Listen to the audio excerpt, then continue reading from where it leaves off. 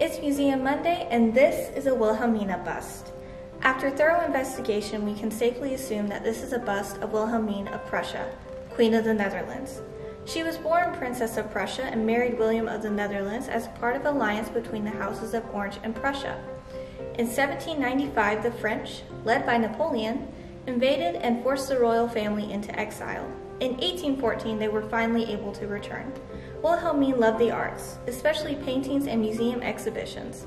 That is likely why art was created of her, probably by the artists she supported, even after her death, as this bust was made in 1875.